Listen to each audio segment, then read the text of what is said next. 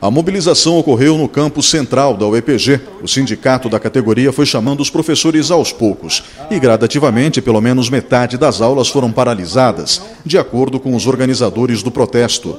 O SINDO-EPG é contra a inclusão das universidades estaduais dentro do sistema Meta 4 do governo do Paraná pois isso vai retirar das instituições a autonomia administrativa garantida na Constituição. Nós temos um amparo constitucional tanto da Constituição Federal quanto da Constituição Estadual de que as universidades elas não têm uma ingerência do governo de plantão.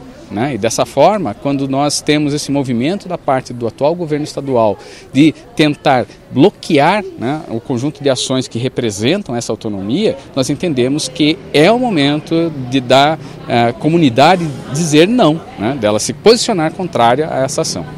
Os professores também não querem que o governo do Paraná acate uma decisão do Tribunal de Contas do Estado que definiu o TID, tempo integral de dedicação exclusiva, como uma gratificação.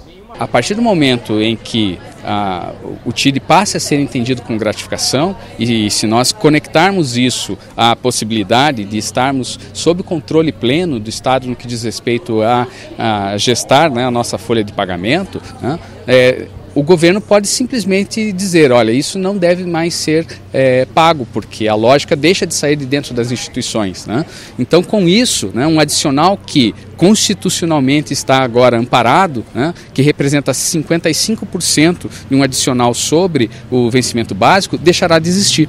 Né? E isso então vai desestimular professores a continuarem com essa, é, é, essa linha de atuação e, inclusive, desestimular que as futuras reposições dos nossos quadros docentes venham a ocorrer.